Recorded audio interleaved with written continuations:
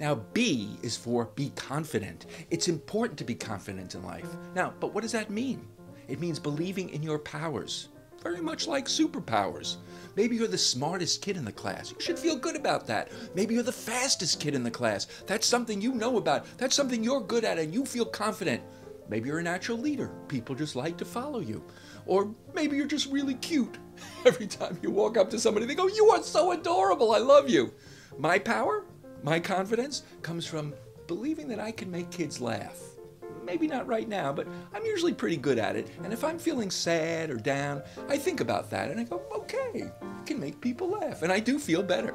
Now, this kid has a problem. He is not confident. So we're going to color him with confidence. And what I'm going to do, I have some crayons here, and I want everybody to, uh, I just want you to grab a crayon. Here, okay, I'm going to pass it right through the screen. Okay, grab a, in fact, grab a few crayons because we're going to color him very nicely. Okay, and who wants this orange one? You want, you want, you want this orange one? Here, I'm going to give you the orange one. Okay, take it. Wait, what happened to the orange one?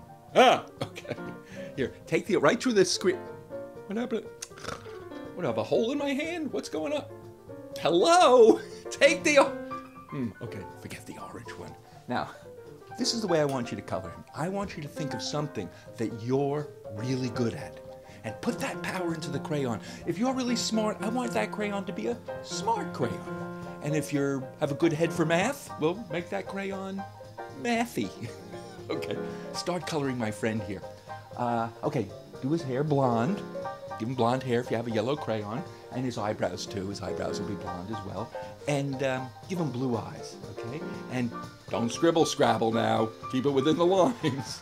okay, now color his, color his skin, kind of a nice light skin. And uh, you know what's missing here?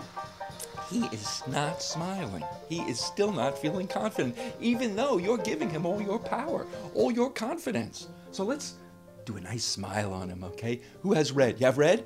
Do red lips and white teeth? Okay, very good. Now, confident people smile a lot. And, well, they have lots of friends because people recognize confidence when they see it and they like it. So, now, okay, pass the crayons back up, right through the screen. And, oh, hey, not in my face. One fell on the ground here. Come on, man. Okay, I'm gonna put them back in the back in the box. Here we go. There we go. All right, nice. Now they're all in the box. And uh, oh, isn't that nice? You did such a nice job. Wait a second. We have to take it out of the frame. There we go. Let me take him out of the frame. See if you guys did a nice job. Color. Ooh, look at that.